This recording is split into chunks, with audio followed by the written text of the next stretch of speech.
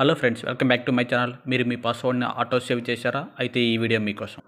చాలామంది user name and password auto save చేయడం చూశారండి కాకపోతే దానివల్ల ప్రాబ్లం ఏంటంటే మీ మొబైల్ కానీ లేకపోతే మీ ల్యాప్టాప్ కానీ మీ ఫ్రెండ్స్కి కానీ లేకపోతే ఇంకొకరికైనా చిక్కితే వాళ్ళకి కనుక మీ పాస్వర్డ్ కనుక తెలిసిందంటే లేదంటే మీ పిన్ నెంబర్ కనుక తెలిసిందంటే వాళ్ళు చాలా ఈజీగా మీ bank password Amazon prime password లేదంటే మీ జీమెయిల్ పాస్వర్డ్ కానీ ఈజీగా చూడొచ్చు అనమాట అది వచ్చేసి చాలా సింపుల్ అండి. జనరల్గా ఏంటంటే మీ బ్రౌజర్కి వెళ్ళి బ్రౌజర్లో కనుక సెట్టింగ్స్కి వెళ్ళారంటే సెట్టింగ్స్లో వచ్చేసి మీకు పాస్వర్డ్ అనేది ఒక ఆప్షన్ ఉంటుంది అనమాట దాన్ని సెలెక్ట్ చేశారంటే మీకు లిస్ట్ ఆఫ్ యూజర్ నేమ్స్ కనిపిస్తాయండి. మీరు కనుక యూజర్ నేమ్ సెలెక్ట్ చేసి షో పాస్వర్డ్ క్లిక్ చేస్తే షో పాస్వర్డ్ని క్లిక్ చేసినప్పుడు ఏంటంటే అక్కడ కనుక మీ పిన్ నెంబర్ కనుక ఎంటర్ చేశారంటే మీ మొబైల్ పిన్ నెంబర్ కానీ లేదా మీ మొబైల్ పాస్వర్డ్ కానీ ఎంటర్ చేస్తే మీ పాస్వర్డ్ వచ్చేసి చాలా ఈజీగా విజిబుల్ ఉంటుంది అనమాట పిన్ నెంబర్ ఎంటర్ చేసే స్క్రీన్ వచ్చేసి వీడియో రికార్డ్ అవుతుంది అందుకని మీరు వచ్చేసి ఇక్కడ బ్లాక్ స్క్రీన్ చూస్తున్నారన్నమాట.